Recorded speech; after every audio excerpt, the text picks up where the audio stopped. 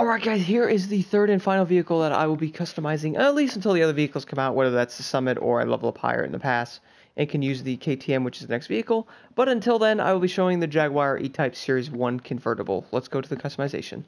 Arriving to the customization, let's see what colors that can go on this vehicle now. It seems like a lot of them do look pretty awesome. Um, kind of like in, uh, that looks pretty cool. The blue color is also nice. Let's go with uh, let's go with this. I'm actually going to customize the thing right now. Obviously, livery is not going to put those on it. Let's see what we could do to the visual parts here.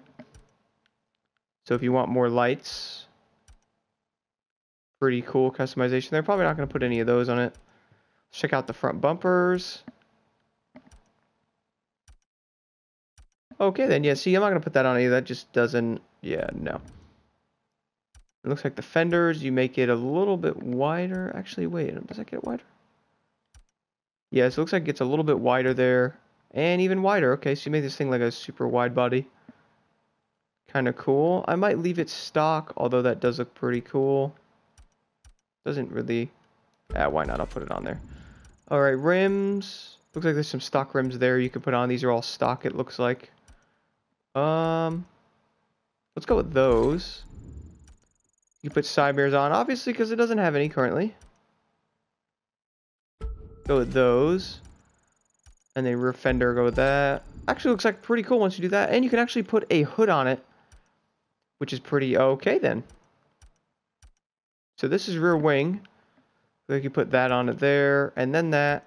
And then that. Personally, I'm probably going to go with this one. Rear bumpers.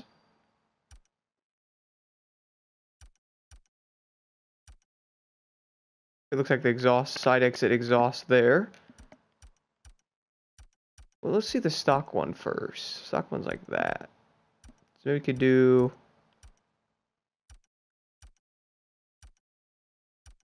Yeah, let's do that. And interior color, obviously, probably just going to leave stock there. And then obviously if you have vanity items, you can throw those on if you own them. Depending on what you want to put on there. I want to avoid, I'll probably avoid these tires to be honest. Um, although that does look pretty cool. Let's put that on there actually. And then uh, how about we go drive it and see how this thing drives now. Alright guys, arriving outside with the E-Type. Now obviously this thing looks pretty awesome. Uh, not gonna lie, I kinda like how it's set up here. It actually looks like a really cool looking car. Let's start it up. Check out the interior. Looks pretty awesome. Let's go drive it. So acceleration seems pretty decent. Obviously the car is older, but the car looks really good. Um, I love classic cars like this. So, see how it drives. So it is a four-speed, which is good. If you're one of the manual type guys and you like shifting the car, you don't have to shift it 40 times in this game, which I don't really mind doing, but sometimes it gets a little frustrating depending on the race you're. Let's see what the top speed is right now. So 245's top speed there. Pretty impressive. For this car, I mean, it seems like was, I was actually handling that turn really well, so I was kind of impressed there with that. Um, car seems like it's driving really well. I'm actually going to take this on the sleeper race right now, and let's see how it does there.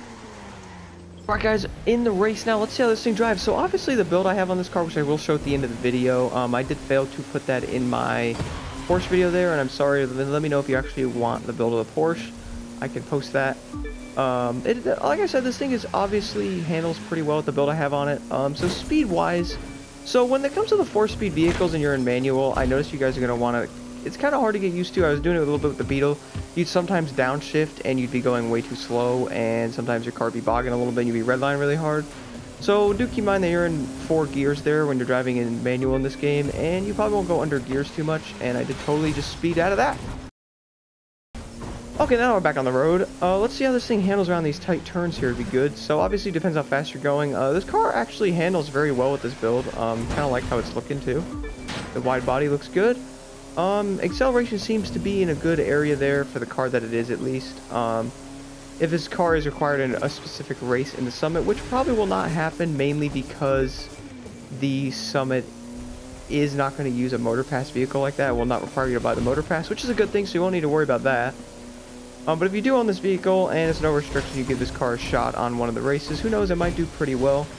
Handles pretty good. It seems like it has good speed. Um, sometimes the four gears actually could be a good thing. You have to shift a lot.